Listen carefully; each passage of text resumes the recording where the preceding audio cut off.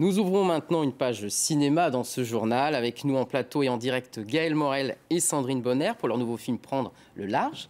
Bonjour à tous. Bonjour. Avant de revenir vers vous, euh, voici le pitch du film pour le situer pour nos téléspectateurs. Edith a 45 ans, elle est ouvrière dans une fabrique de textiles bientôt euh, délocalisée au Maroc. Et plutôt que le chômage, elle préfère suivre son usine jusqu'en terre inconnue, alors euh, loin de son fils et sans attache. Mais regardons tout d'abord un extrait. Aïe, ça pique. هاكي Non, non, non. Problème électricité. لا تتهضري الفرنسية شوية عاونيني راه ما فهمت والو La machine a un problème. Elle lance des décharges électriques. قالت لك الماكينه ديالها كضرب لنا الضوء زوينة هادي ولا مزمر هذا لا راني نحس بصح ماشي شي حاجة مش مصنوعة بالسكر اجي انتي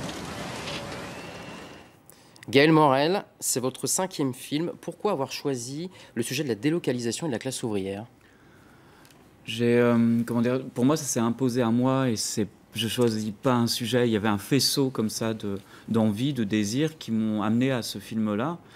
Et euh, pour moi, le premier euh, désir, le premier faisceau, c'était de travailler avec euh, Sandrine Bonner. Ensuite, euh, la classe ouvrière, c'était pour parler du milieu d'où je viens. Parce que je me disais, c'est rare dans le milieu du cinéma de venir de ce milieu-là. Et, euh, je pense que voilà, j'avais beaucoup de choses à témoigner.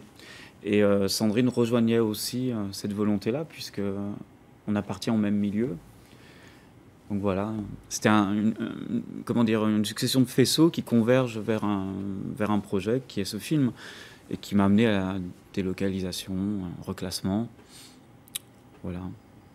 Vous, Sandrine, vous incarnez Edith, le personnage central de ce film. Comment vous avez appréhendé ce rôle? Il y a un vrai travail autour des, des expressions pour ce personnage. hein. Bah, c'est un joli cadeau que m'a fait Gaël et euh, c'est une vraie mise à nu. C'est euh, c'est un rôle qui permet tout ça, c'est-à-dire que elle a plein de couleurs. Elle a des couleurs euh, assez ternes, elle a des couleurs euh, qui s'illuminent au fil du temps, puisque même si elle rencontre euh, pas mal de comment dire d'obstacles, c'est quand même quelqu'un qui malgré tout va vers la lumière, qui a décidé de changer sa vie, de partir, de même pour un salaire beaucoup moins important que ce qu'elle aurait pu avoir en France. Mais l'idée d'aller ailleurs et de découvrir un pays, d'autres gens, euh, voilà, ça va être une euh, reconstruction pour elle. Alors justement, c'est une nouvelle vie à Tanger avec Mina et Ali. Racontez-nous, qu'est-ce qui se passe de l'autre côté de la Méditerranée? Il se passe plein de choses. Bah déjà, euh, ce qui est intéressant dans le film, c'est de, ça raconte l'immigration, mais l'immigration de l'autre côté. Donc, euh, comment on s'intègre à un pays euh, qui n'est pas le sien, avec euh, les codes qui sont pas évidents et encore moins pour les femmes.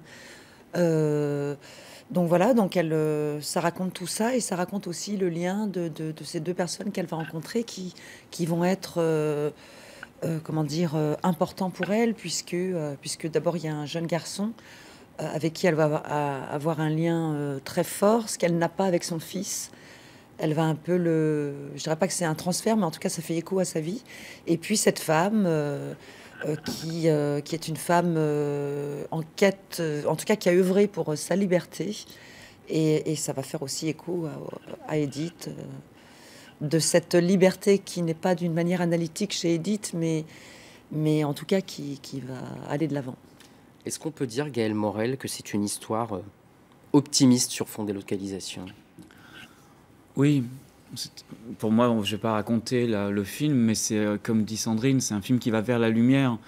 Et euh, moi, je me sentais le devoir de sauver mon personnage.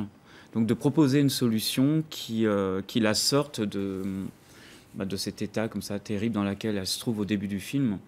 Et je voulais qu'on la prenne à un moment de sa vie terrible et qu'on voit comment, en allant vers la lumière, elle va retrouver ben, des raisons de vivre et de continuer euh, malgré tout. Voilà.